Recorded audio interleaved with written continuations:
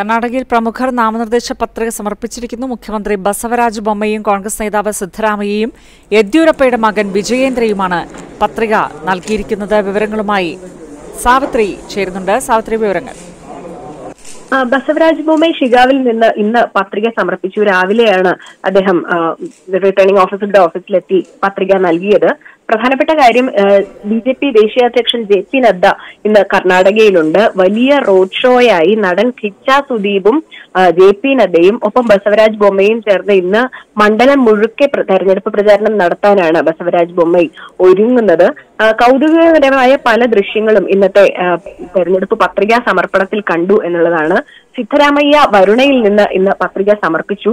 സിദ്ധരാമയ്യക്കൊപ്പം പേരക്കുട്ടി ദാവനും ഉണ്ടായിരുന്നു. പതിനേഴുകാരനായ ദാവൻ ഇപ്പോൾ പി യു സി ക്ലാസ്സിൽ പഠിക്കുന്നതേയുള്ളൂ സിദ്ധരാമയ്യയുടെ മൂത്ത മകൻ രാകേഷ് അന്തരിച്ച രാകേഷിന്റെ മകനാണ് ദാവൻ വലിയ തെരഞ്ഞെടുപ്പ് റാലിയുമായാണ് സിദ്ധരാമയ്യയും വരുണയിൽ പത്രിക നൽകാൻ എത്തിയത്. മറ്റൊരു കാര്യം ഇന്ന് ശിക്കാരിപുരയിൽ നിന്ന് യെദ്യൂരപ്പ ഒഴിഞ്ഞ സീറ്റാണ്.